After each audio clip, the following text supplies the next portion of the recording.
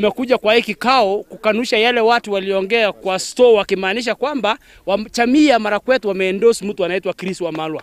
Hiyo ni uongo na hatutakubali, na jamii yetu ichakaa chini kwa pamoja ijadiliane ni nani ndio ataingia kiketi cha gubernatorial seat ya Trans Nzoia. Lazima jamii yetu ihusike fully ili tukubali yeyote atakayeamuka kiketi yote kama jamii ya Marakwet.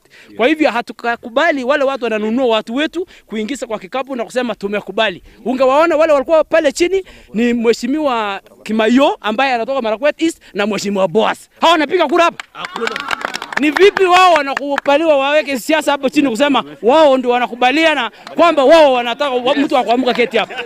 Mtu anaitana na bibi yake, mwingine na bibi yake, mwingine na watoto yake, anaenda kusema hao watoto ni, ni vijana kutoka Marakwet.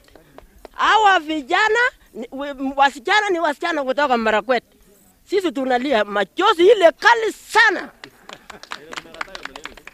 Tumekataa katika jina la Yesu. Maneno ya Kristo na watu yake waine. Kwa nini? Tunataka hiyo watu kina Chris Wamalwa kina wengine kina wengine waheshimu jamii ya Wamarakwet. Kama unataka kura yako eh, kuja mahali kama store mahali mlikuwa juzi, omba kura yako pale. Haya, kuja Penon, omba kura yako, sunguka hii watu yote mpaka umalizie Suwerwa mpaka Kitale County. Hiyo ndio protocol yenye tutafuata mpaka 2022 ndio tujue sasa ni, ka, ni mtu gani tumeamua kama kama gavana wetu. who called themselves somewhere and endorsed someone.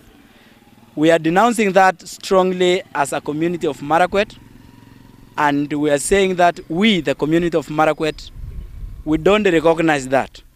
Our faults are still under discussion, and when the time comes, we shall decide on our uh, voting pattern as community of Marakwet in Trans Nzoia County.